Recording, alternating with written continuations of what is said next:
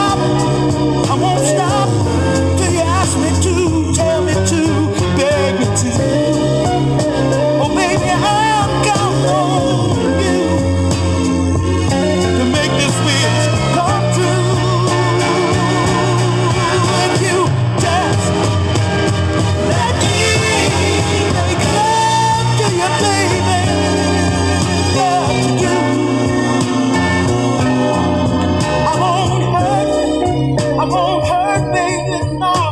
I'm too jealous of